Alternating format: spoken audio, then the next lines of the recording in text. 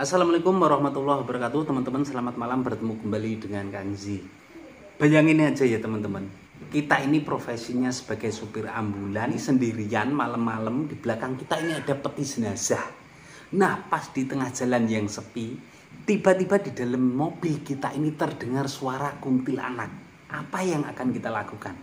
Nah itulah yang dialami oleh salah seorang bapak supir ambulan yang ada di video yang akan kita bahas ini.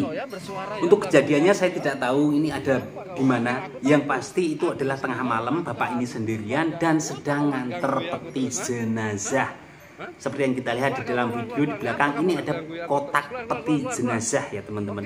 Buat saya salut adalah bapak ini saat mendengar suara kuntilanak dia ini tidak berlari Bahkan justru beliau ini menghentikan mobilnya, menyempatkan diri untuk merekam kejadian tersebut.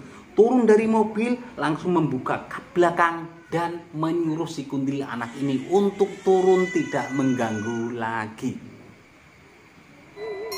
Masih kau ya bersuara ya ganggu ya aku ya. Ngapa kau? Kau kira aku takut? Aku di sini nyari makan untuk keluarga aku. Ngapa kau nggak ganggu ya aku terus? Hah? Hah? Hah? Keluar kau, keluar, keluar, keluar. Ngapa kamu nak ganggu aku terus? Keluar, keluar, keluar, keluar, keluar.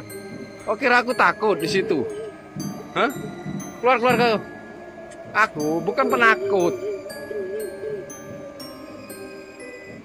Nah video yang berdurasi 25 menit ini cukup membuat kita tercengang Karena apa? Begitu besar keberanian bapak uh, supir ambulan ini ya Bagaimana menurut teman-teman seandainya itu yang mengalami kejadian adalah teman-teman Berikan komentar teman-teman di kolom komentar dan terima kasih sudah menonton